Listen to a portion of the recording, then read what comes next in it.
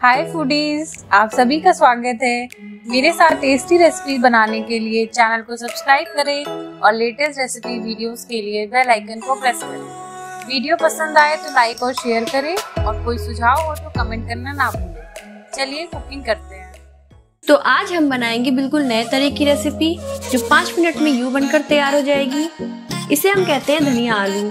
धनिया आलू खाने में बहुत ही टेस्टी होती है। इसे हम पूरी, पराठा या फिर रोटी के साथ खा सकते हैं, या हम चाहे तो इसे चाय के साथ भी खा सकते हैं। धनिया आलू बनाने के लिए सबसे पहले हमें चाहिए उबले हुए आलू। उबले हुए आलू के बाद हमें चाहिए हरी धनिया।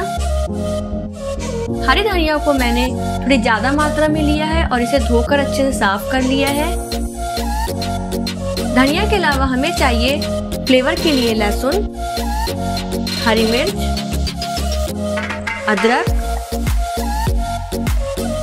और अजवाइन। अगर आप ठंड में बना रहे हैं तो अजवाइन डालें, नहीं तो आप जीरा भी डाल सकते हैं।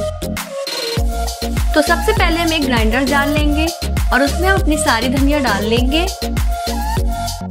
ध्यान रखिएगा, धनिया का अमाउंट जितना ज़्यादा होगा, आपका धनिया आलू उतना ही टेस्टी बनेगा। तो सारी धनिया डालने के बाद इसमें हम फ्लेवर के लिए लहसुन डाल देंगे। धनिया आलू में लहसुन डालना बहुत ज़रूरी होता है। अब हम हरी मिर्च और अदरक डालकर पानी की मदद से इसका एक गाढ़ा पेस्ट बना लेंगे। तो हम इसे ग्राइंड कर लेते हैं। देखिए, मैंने इसे ग्राइंड कर लिया है। मैंने इसे ज़्यादा महीन नहीं पीसा है। इसे हल्का खड़ा खड़ा पीसेंगे तो इसका टेस्ट बहुत ही अच्छा आएगा। तो देखिए, हमारा धनिया मसाला पीसकर बिल्कुल तैयार है। हम इसे एक बाउल में अलग से निकाल लेंगे। इसके बाद हम एक कढ़ाई लेंगे। बनाने के लिए मैंने लोहे की कढ़ाई का यूज़ किया है। आप चाहे तो एल्यूमिनियम की कढ़ाई या फिर नॉन स्टिक पैन कोई भी पैन यूज़ कर सकते हैं। पर लोहे की कढ़ाई में धनिया आलू बनाने से इसका स्वाद और भी बढ़ जाएगा। तो इसीलिए मैंने लोहे की कढ़ाई का यूज़ किया है। तो अब कढ़ाई को गर्म कर लेंगे। कढ़ाई के गर्म होते ही इसमें हम सरसों का तेल डालेंगे। सरसों के तेल में धनिया आलू बनाने से इसका स्वाद दुगना हो जाता है। अब जबकि तेल गर्म हो चुका है तो इसमें हम अजवाइन डाल देंगे।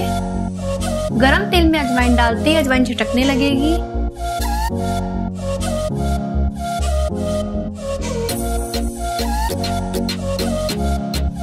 तो अब अजवाइन लाल हो चुकी है। अजवाइन के लाल होते ही हम इसमें अपना बनाया हुआ हरा धनिया का पेस्ट डाल देंगे। देखिए कलर कितना सुंदर दिख रहा है। मसाला को डालने के बाद हम झटाझट से इसको चला लेंगे। धनिया आलू बनाने की खास बात यह है कि हमें इसमें मसाले को ज़्यादा भूनना नहीं पड़ता है। अब जबकि मेरा मसाला उबल चुका है तो इसमें अब हम आधा चम्मच दमालू मसाला, स्वाद अनुसार नमक और अमचूर पाउडर डालकर अच्छे से मिक्स कर लेंगे।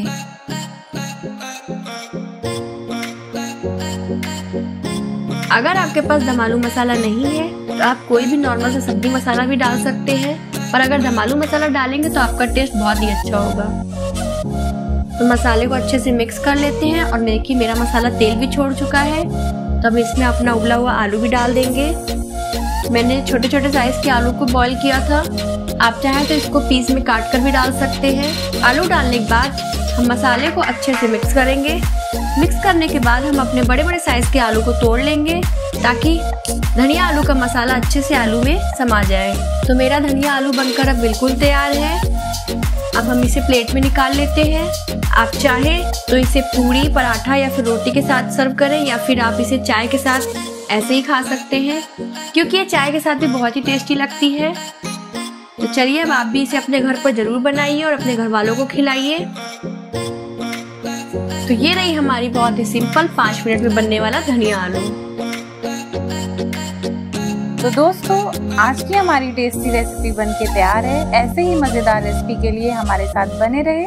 Thanks for watching